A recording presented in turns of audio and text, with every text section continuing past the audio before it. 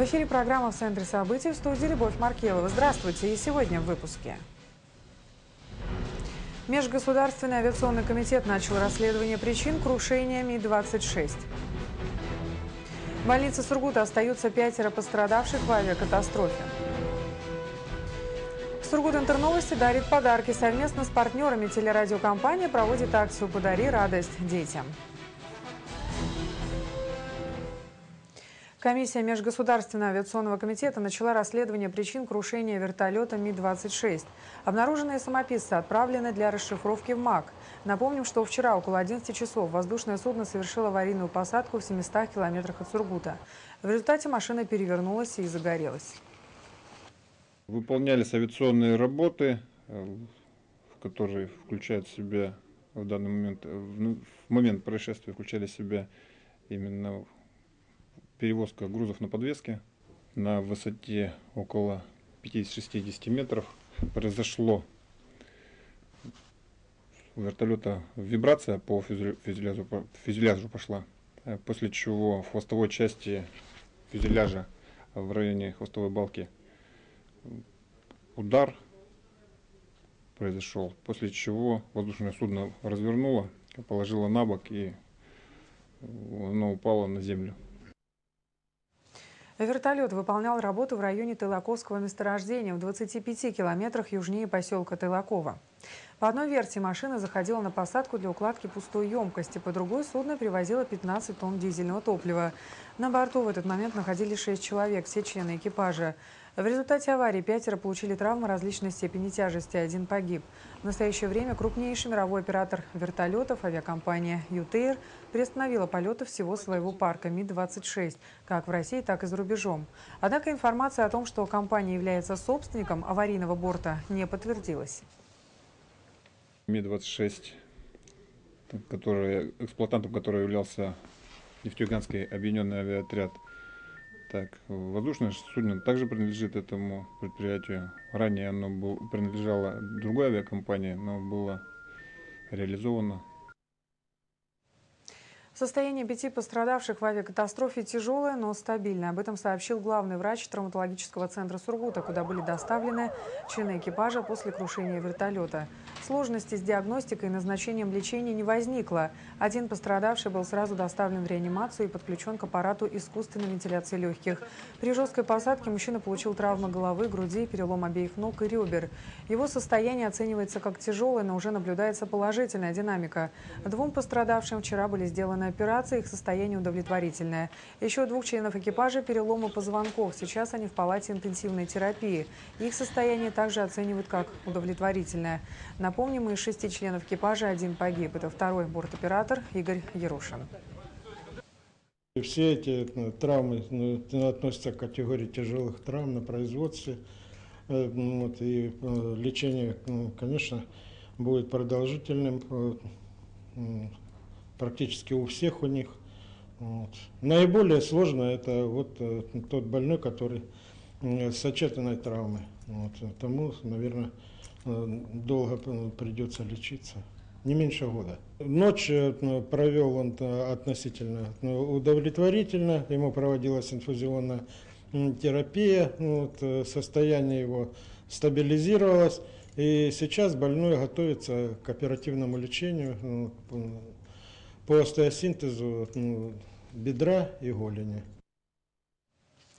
Один из пострадавших, бортинженер вертолета Андрей Пятаков, сейчас находится в палате травматологического отделения окружного травмоцентра. У него многочисленные ушибы, переломы и повреждения. Новый год он встретит в больнице. Из Нижнего Новгорода, где живет его семья, к пострадавшему выезжает супруга. День, когда он вместе со своими коллегами был на волоске от смерти, Андрей старается не вспоминать. Давайте о нем говорить не будем. Все нормально, ничего не беспокоит. Ну, за исключением поясницы, но это пройдет. А так все нормально, никаких замечаний, предложений нету. Я в сознании был вчера, да. Все нормально. Нет, не виделся, мы же лежим, а самочувствие нормально. Мы же не ходячие. Поэтому нет, не видел никого.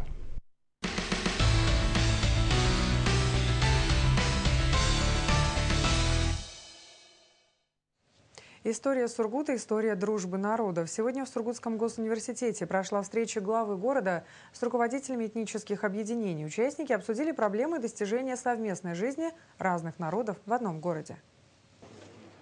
Встреча руководителей этнических объединений в этом году впервые прошла в Сургутском университете. Место выбрали не случайно. Задача национальных общин, в том числе, занять молодежь, привить ей интерес к спорту, родной музыке и литературе. Одним из мощнейших рычагов, как я понимаю, воспитания молодежи явилась организация нашего ансамбля «Ватан», который в этом году будет праздновать свое десятилетие. Глава города Дмитрий Попов подчеркнул, с этническими объединениями власти взаимодействуют в рабочем режиме, а встреча – хорошая возможность обсудить проблемы и достижения. Взаимодействие при проведении городских мероприятий, так и в повседневной работе различных структурных подразделений администрации города и общественных объединений. Считаю такие регулярные контакты хорошей традицией. Выступающие на встрече много говорили о том, что Север осваивался всеми народами страны. Различий по национальности не было, никто не обращал на это внимания. Все делали общее дело. Да и карьерные перспективы были у всех одинаковыми. Не то, что сейчас, отметил один из участников разговора. Там не раз было озвучено фамилии, ну, скажем, не славянских народов. Чечены, азербайджанцы, таджики, все-все-все. Лично мне достаточно сомнительно, что сегодня среди первых руководителей даже муниципальных предприятий сегодня можем назвать кого-либо из неславянских национальностей. Ответ городских властей. Главный критерий в отборе на работу – не происхождение, а способности. Честно говоря, для меня, э, я, собственно говоря, и держу главную позицию – это профессионализм это профессионализм. Все остальное, э, какой национальности для меня, как для э, человека, который, э, ну, будем говорить, формирует резерв, и в том числе по своим, так сказать, социальной сфере, для меня, безусловно, врач любой национальности. Участники конференции с мнением согласились. Иногда это просто накручивают специально для того, чтобы создать вокруг этого определенный ажиотаж. Поэтому встречаемся с руководителями и беседуем в нормальном рабочем режиме, и ни у кого никаких проблем не возникает. Предложение городской администрации создать книгу, посвященную истории Сургута, истории дружбы народов. А в будущем году в городе состоится юбилейный фестиваль «Соцветие». Организаторы обещают много интересных мероприятий. Артем Высоцкий, Вячеслав Шаркунов, Сургут Интерновости. Эксперименты проходят успешно, пока никто не умер. Ученые Института криосферы Земли накануне рассказали журналистам об уникальных экспериментах, которые они проводят на животных и самих себе. С целебными тайнами микробактерий вечной мерзлоты, а также перспективами применения сухой воды знакомился наш коллега Иван Троцевский. Это просто невероятно. Перед журналистами на столе была рассыпана вода. Да-да, этот сыпучий порошок, похожий на сахарную пудру, сухая вода. Над разгадкой ее создания тюменские ученые-мерзлотоведы из Института криосферы Земли Сибирского отделения Российской Академии Наук бились много лет. Применение новинки еще более фантастично. Можно превратить природный газ в гидраты, который будет в порошковой вот такой вот форме. А вот эту вот уже порошковую форму можно хоть там формочки любой формы. То есть в перспективе мы можем увидеть фантастику, что мы будем насыпать газ в виде порошка. Это да, это реальная фантастика. Можно помочь избежать пробок в нефтепроводах, э, которые возникают из-за газовых гидратов. Этот порошок может использоваться благодаря его свойствам э, медицине, косметологии, фармацевтике, э, нефтехимических технологиях и, я думаю, еще во многих других отраслях. Порошковая вода, или как ее еще называют ученые, сухая вода, была открыта еще в 1968 году. Непонятно, по какой причине, очевидно, по ненадобности, но про открытие на время подзабыли. Производство сухой воды несложный и довольно-таки быстрый процесс. На высокой скорости в том же миксере смешивается дистиллированная вода и диоксил кремния. Под воздействием магнитных импульсов водородные связи в молекулах воды изменяют полярность. Уже через 60 секунд сухая вода готова. Эксперименты с бактериями вечной мерзлоты дали, по мнению ученых, очень хорошие результаты. Например, мышиные бабушки помолодели и дали потомство. Улучшилась память, они стали активнее. Испытывает влияние бактерий на себе и сам директор института, академик Владимир Мельников. Ему за 70. У нас сегодня уже появились группы людей, которые на себе испытывают полезность этого лизата. И что они говорят? Вот они уже второй год, так сказать, его употребляют и говорят, мы перестали утомляться. Правда, чуть-чуть мы стали меньше спать при этом, но мы не утомляемся в течение дня. Работники Института криосферы Земли недавно создали в интернете свой сайт, и теперь все желающие могут в деталях узнать о их удивительных открытиях. Иван Троцевский, Сергей Лыкосов, Вести регион Тюмень специально для Сургут Интерновости.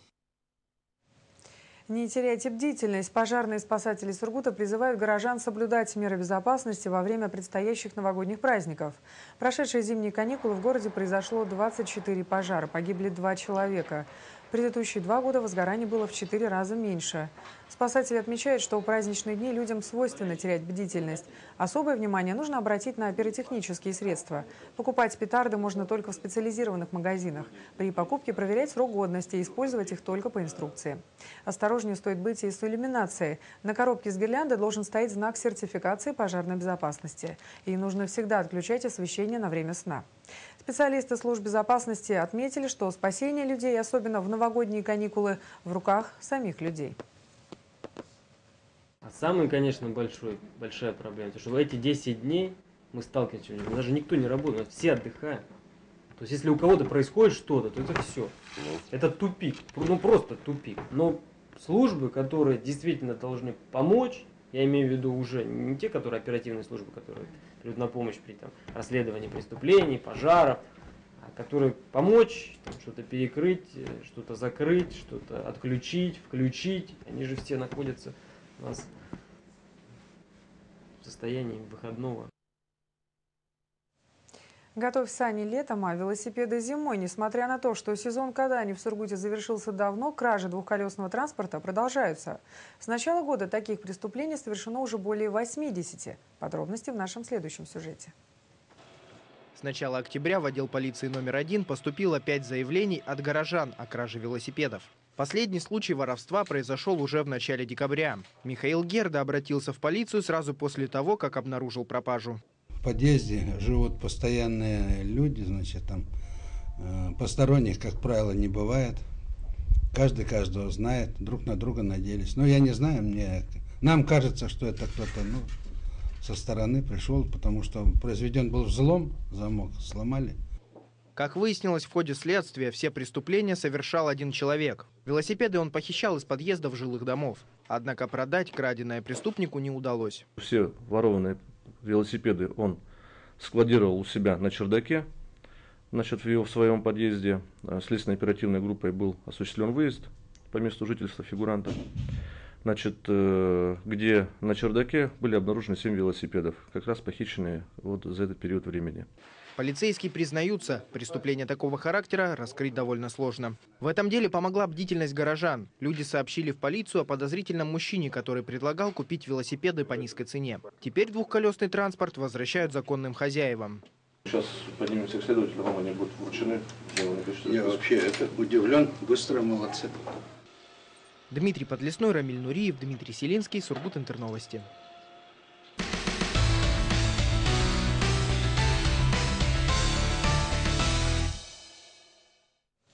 Воля к победе и спортивный азарт. В поселке Белый Яр прошла спартакиада работников лесных хозяйств Югры. Они состязались в рамках соревнований госслужащих Антмансийского округа. Такие спартакиады стали уже традиционными.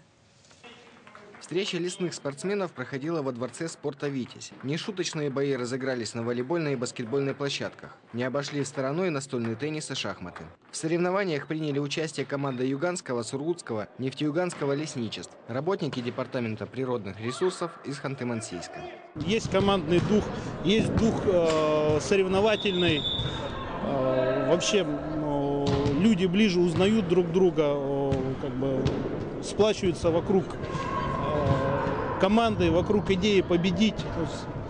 Хороший спортивный дух, я бы сказал. Цель спартакиады не только выявить сильнейшего, но и пообщаться с коллегами в неформальной обстановке. Ну, эмоции самые положительные. Конечно, когда э, на, на работе э, разговариваешь с своими сотрудниками и на поле проходит состязание, здесь, конечно, получше узнаешь человека. Результатом встречи стала безоговорочная победа ханты-мансийцев. Сотрудники департамента оказались первыми во всех состязаниях. Сургутянам лишь в волейболе удалось подняться до второго места, оттеснив нефтеюганских лесничих. В общем зачете они стали третьими. Павел Желтов, Антон Мищенко, Сургут Интерновости. Сургут Интерновости дарит подарки. Совместно с партнерами телерадиокомпания проводит акцию «Подари радость детям». В преддверии праздников юные сургутяне получат игрушки и сладкие сюрпризы. Это первый визит в рамках акции «Подари радость детям». Ее устроители поздравляют с предстоящими праздниками детей-инвалидов и малышей из семей, попавших в трудную жизненную ситуацию. Сотрудники телерадиокомпании «Сургут Интерновости» вместе со своим постоянным партнером отправились в поселок Юность в гости к Насте Бровиной и ее маме. Телерадиокомпания «Сургут Интерновости» совместно с ювелирным салоном «Адамас» поздравляет вас с наступающим Новым годом и Рождеством. Мы желаем удачи в будущем году. Счастья вам, чтобы у вас все ваши мечты сбывались. Сладости, игрушки, привычный новогодний набор. Специальным подарком для Насти стало золотое украшение от ювелирного салона «Адамас». Цепочка с кулоном, на котором изображен святитель Николай. Православные во всем мире обращаются к этому святому за помощью и ждут новогодних чудес. Очень приятно, очень понравились подарки. Неожиданно для нас было, что так очень благодарность, поэтому большое спасибо. Акция «Подари радость детям» проводится ежегодно. В этот раз она немного изменила свой формат. Телерадиокомпания «Сургут Интерновости» ежегодно проводит акцию «Подари радость детям». Раньше мы проводили только 1 июня, сейчас мы проводим еще перед Новым годом и Рождеством. Мы совместно с нашими партнерами, спонсорами ездим в семьи, дарим им подарки, конфеты. И мы хотим сделать их праздник чуточку лучше. Каждый ребенок под Новый год ждет какого-то волшебства, сказки, подарков. И особенно дети-инвалидам мы стараемся, конечно, уделять внимание.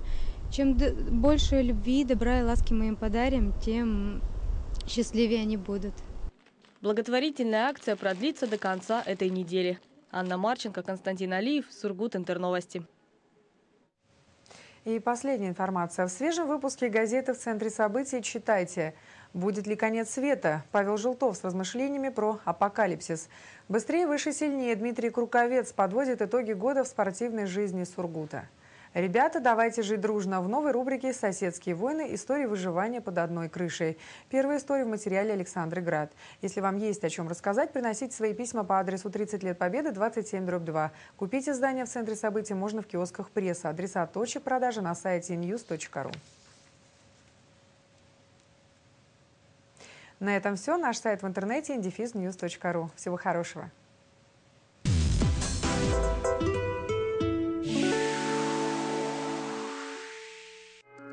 Просковья Профи поздравляет всех с Новым годом и Рождеством канун новогодних праздников происходят чудеса, уж поверьте. В медицинском центре Просковья Профи вас удивительно преобразят. Всего за несколько процедур ваша кожа приобретет упругость и молодость, тело станет стройным и гибким, а настроение – превосходным.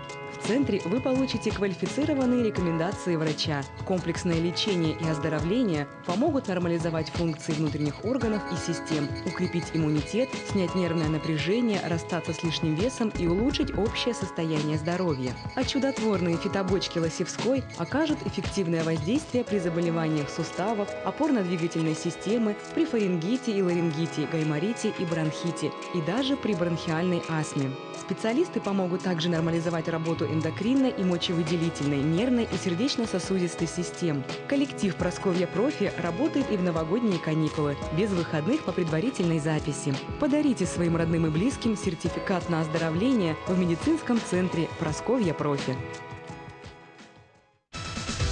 Кухни, стенки, детские. Торговый дом Евроофис. Улица Островского, 26, дробь 3. Телефон 510 210. 7 дней с 24 по 30 декабря не пропустите счастливые часы с 8 до 10 вечера в торговом центре «Рандеву». Улица Ленина, 17. Телефон 52 79 11. Самобытные сувениры мастеров Севера, народов Ханты и Манси впервые в Сургуте. Возьми с собой частичку Сибири. Этноарт. Из Югры с любовью. Открылся новый торговый центр «Рим» по улице Лермонтова 5, дробь 3. Приглашаем за покупками.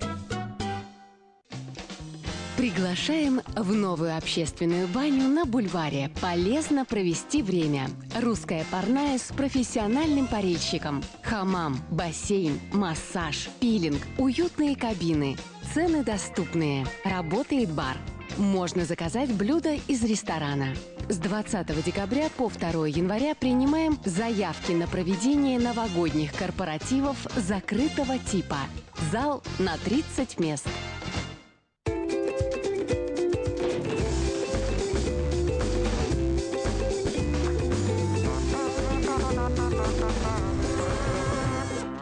Большой выбор металлических и межкомнатных дверей. Доставка, установка, гарантия, беспроцентная рассрочка. Салон дверей. Телефон 35 82 82. Праздничные скидки начались. Только до 31 декабря. От 10 до 70% на весь ассортимент. Сеть салонов Китрой и Рензо Ринальди. Росич, первый этаж. Телефон 52 30 52. Торговый комплекс «Сибирь», второй корпус, третий этаж. Телефон 516 777. Нужны свежие объявления? Спеши купить газету «Ярмарка». Теперь два раза в неделю, по вторникам и пятницам. Газета «Ярмарка». Твоя газета.